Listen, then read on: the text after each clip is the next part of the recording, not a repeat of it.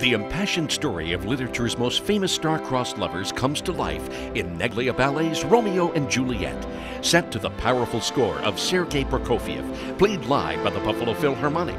The production combines intricate sword fighting, disguise, humor, tragedy, and passionate dancing to bring the world's most enduring love story to Shea's Performing Arts Center Friday, April 4th at 7:30 p.m. Tickets available now at ticketmaster.com.